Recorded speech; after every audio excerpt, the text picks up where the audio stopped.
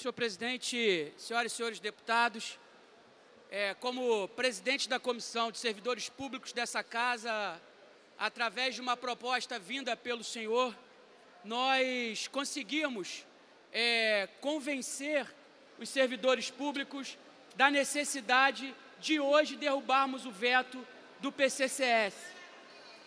Em nome da confiança ao parlamento, em nome da confiança ao senhor presidente, que tem tido aqui na sua gestão um mandato de muito diálogo, de interlocução com o governo em temas muito espiosos.